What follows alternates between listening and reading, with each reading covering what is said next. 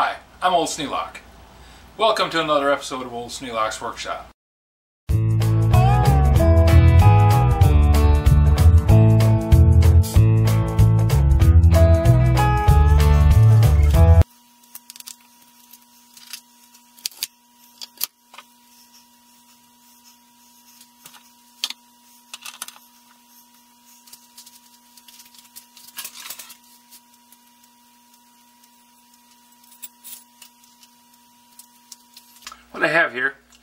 The axle out of the John Deere tractor that I'm going to give to Oliver. Well, he's going to have it here to ride on. It's not going to go to his house. It's going to stay here at Grandma and Grandpa's house. And he'll get to come here and ride on it. Yeah, I know, it's coercion, but it's what grandparents do the world over. Problem I'm running into, it was designed with this little push washer on it and the push washer is supposed to uh, hold the wheel on.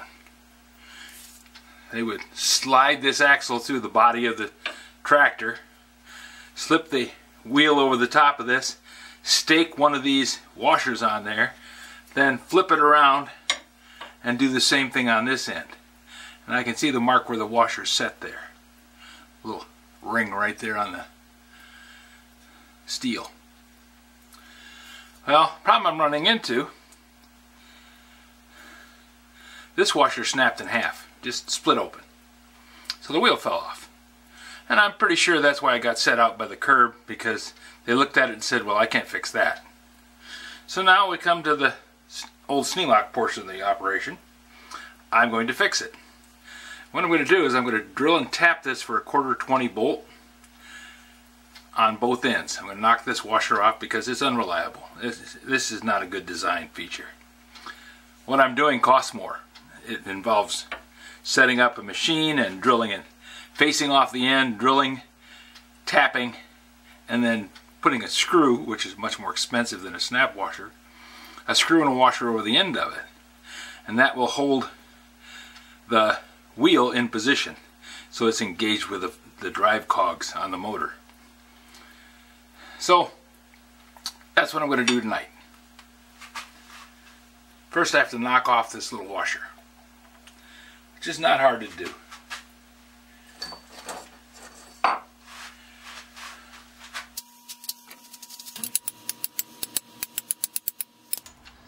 Just like that.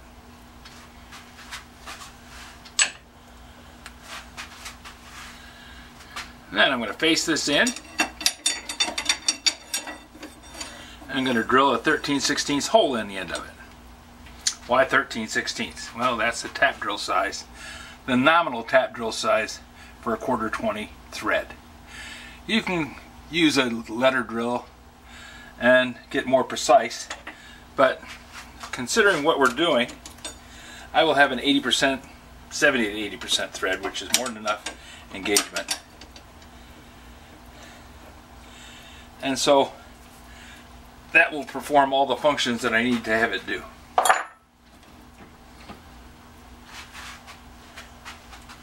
Now, I have the part mounted in the chuck. I'll plug in the lathe.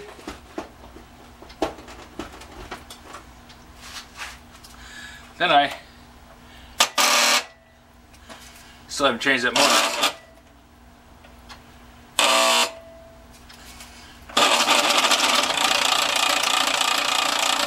I'll get around to it. See, if I was in the middle of that project, I wouldn't be able to do this one. Have to plan.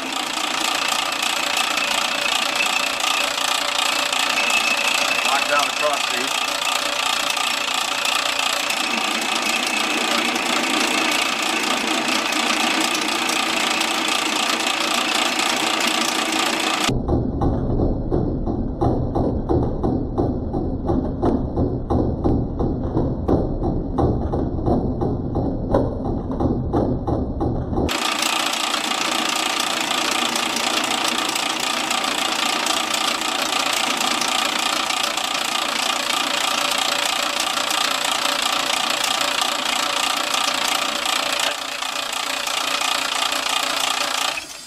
Now why did I go through all that malarkey? Because I don't want to have that little tip on the end there that makes the drill bit wander off center.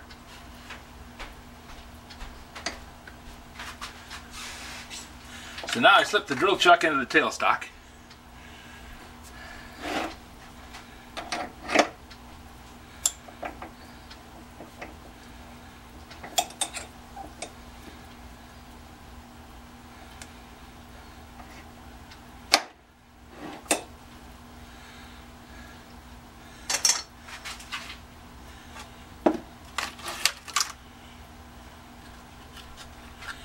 Put in the center drill.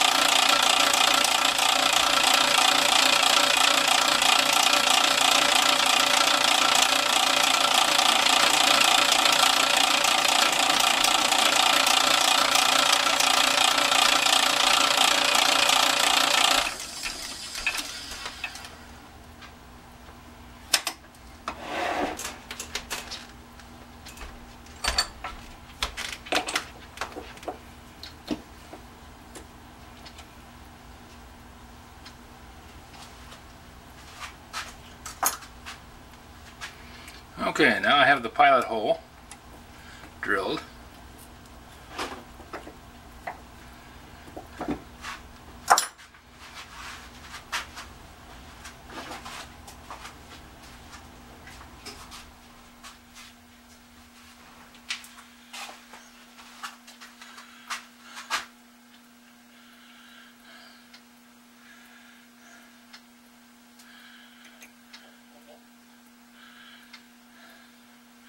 I need to drill a hole about that deep because I want to have the tip of this tap where the threads are. I want to have the head of this bolt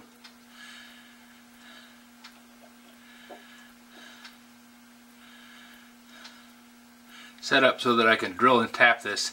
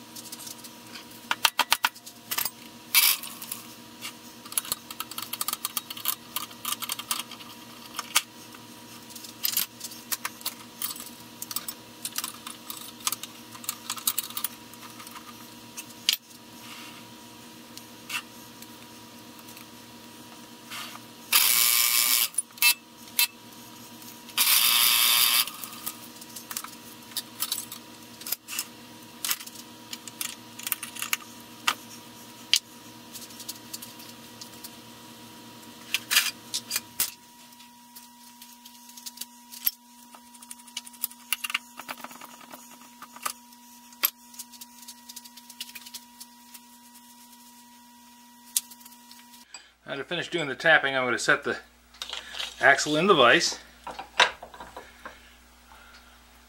Make sure the camera's on. Put a little anchor lube in the hole. This stuff is great for tapping. All-purpose metal working compound. Anchor Chemical Company.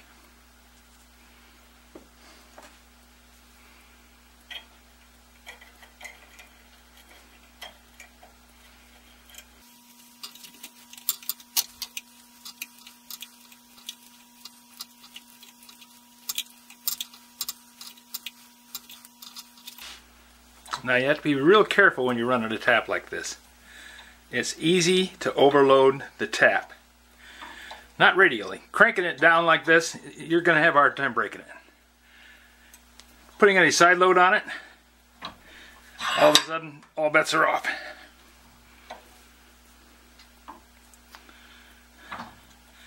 Now we're starting to push enough junk in front of it that it's packing the hole full.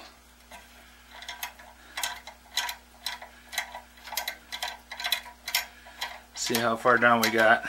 If we're far enough for that bolt to go down the seat, I'm good enough, I can stop.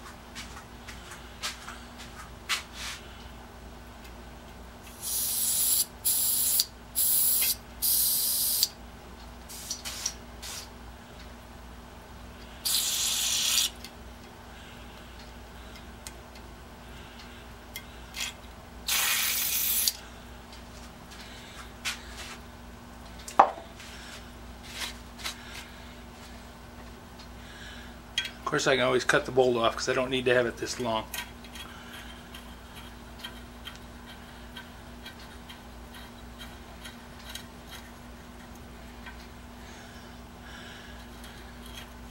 Looks like I gotta go a little further.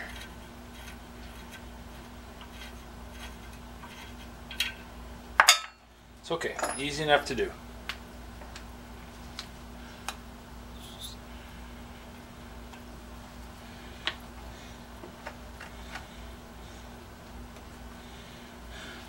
One thing, when you're using this stuff, make sure you put the little red cap back on. It disappears on the bench and then you're left without a cap or else you're chasing around trying to find one.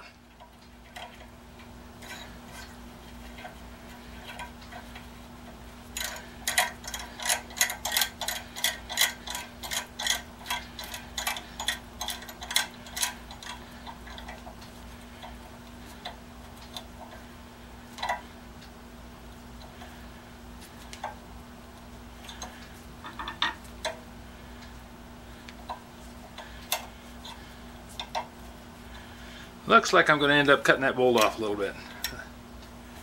Not a problem.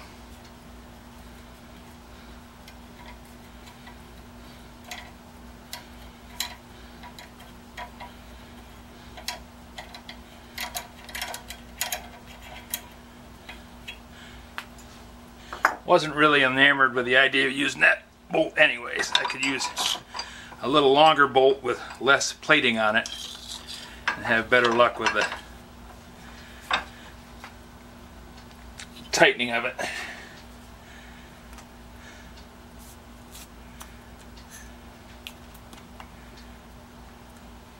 Anchor lube, wipe off the chips, start the tap. Starting the tap in the lathe means that it's a lot easier to start the tap. It, it's going to go in straight. And I'm just taking advantage of the operation that I have. I could drill this by hand a lot harder. I could drill it by hand with a hand drill. But why do something like that if you don't need to? I have a lathe, I use it.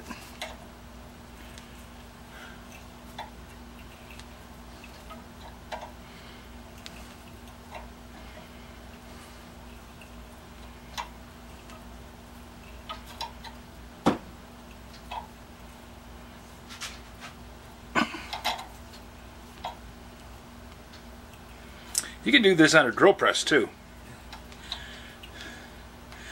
If you have enough oomph in your drill press to run the tap, you can chuck the tap up in the chuck, leave it a little loose.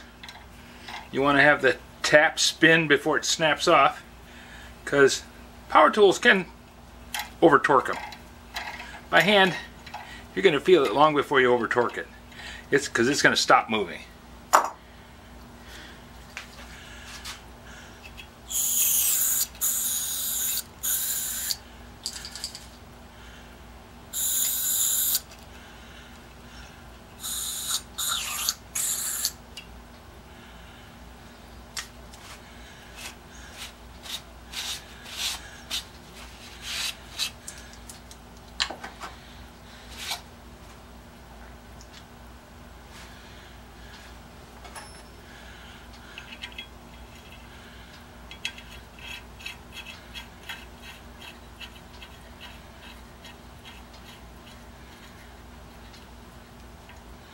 Yep, I'm going to stop a little short of being all the way down.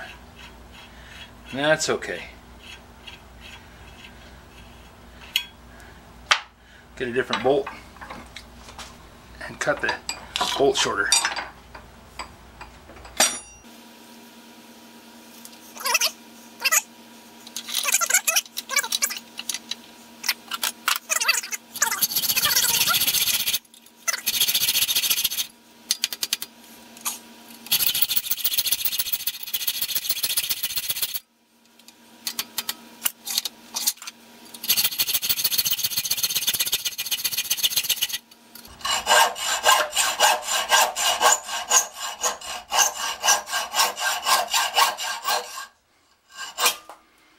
There.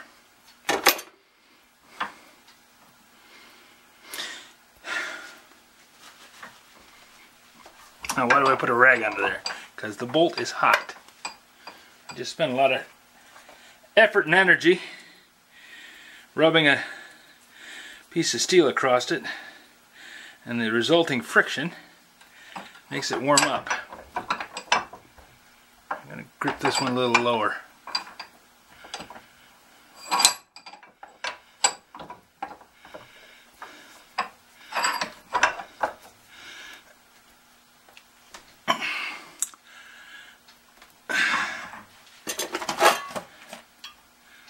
Try this again.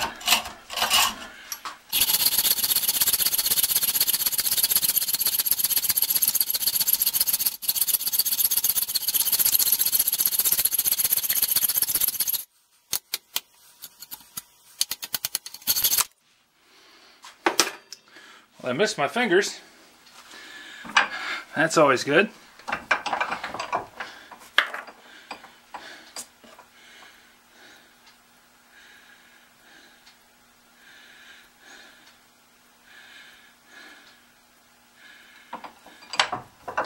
Now grip the nut in there and spin the bolt out of it and that cleans up the threads.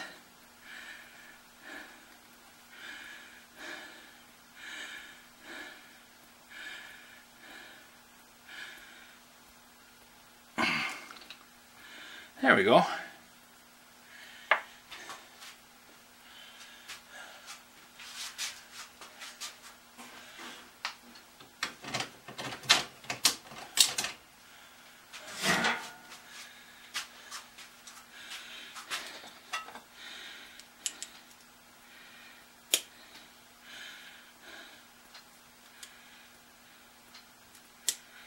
Now, grab the bolt and the pliers, vice grips.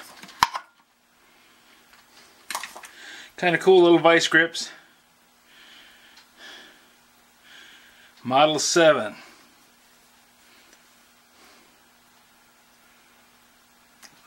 Leverage Tools Incorporated. It's an automatically adjustable vice grip. You just set how much pressure you want and then you can clamp it on large items or small items. The jaws come up, touch, and as soon as the friction occurs in here, it starts latching it down.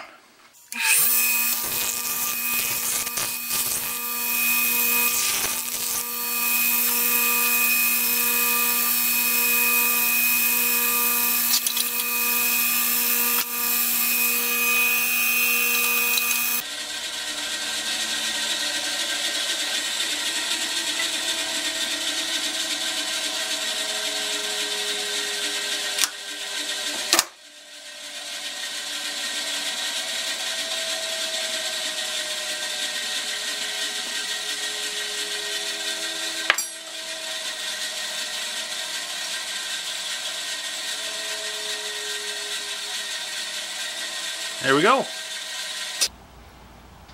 I'm down in the basement. I want to modify the axle on the John Deere tractor so that the wheels will stay on. Well, I've got the bolts in it, both ends. Now we got this job done. In the morning, we'll go out mount the wheels. If you have any suggestions for a new video, questions about today's video, or any of the other videos on the channel, just drop a note in the comments. You know I read them all. Thanks for watching.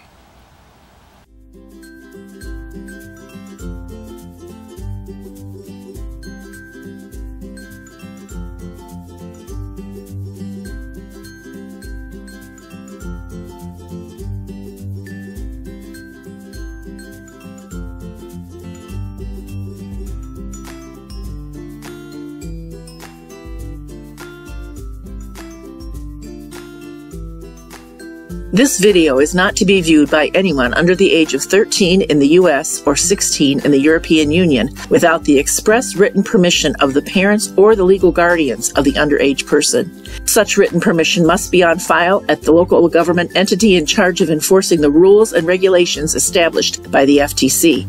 Anyone violating these terms is admitting by default that they hold harmless the owners and operators of this channel. Any and all questions should be addressed to your local branch of the FTC.